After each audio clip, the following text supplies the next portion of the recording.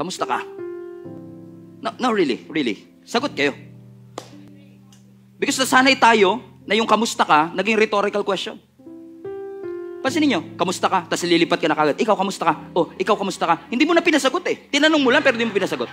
Di ba? So nasanay na tayo na gano'n. Kaya pag tinatanong tayong kamusta ka, naging rhetorical question na siya.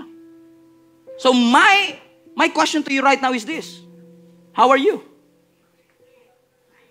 Are you emotionally tired? Emotionally drained? Burnt out or tired? Ano nakikita ko ngayon, some of you are trying really hard na makinig. Pero talagang inaanto kayo.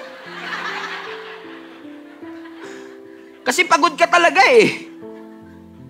And I, thank you for trying. Marami sa atin talaga pagod eh. Marami sa atin burnout. You are tired dahil sa paulit-ulit na financial struggle na ilang taon nyo nang pinagdadaanan. Some of you are really tired. Paulit-ulit na lang yung away ninyo mag-asawa. You're trying to fight for your marriage. You're trying to fight for your future. But you're just tired. Marami sa atin pagod na bago pa dumating ang COVID.